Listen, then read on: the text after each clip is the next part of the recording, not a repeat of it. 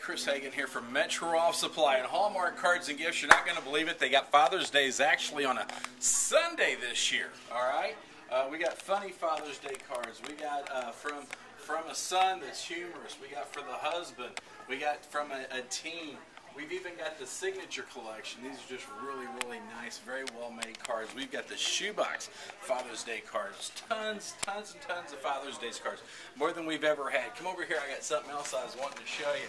You know, we got all, all different kinds. Hey, Dottie, how are you? Hi, Chris. Hi, Chris. Hi. Hello. We got we got all kinds of things, including a bunch of different chairs. Maybe Dad's needing a, a new chair for Father's Day.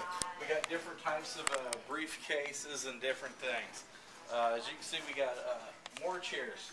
All, all, all different kinds of chairs over here for Dad for Father's Day. Just because I'm working, I There we go. All right.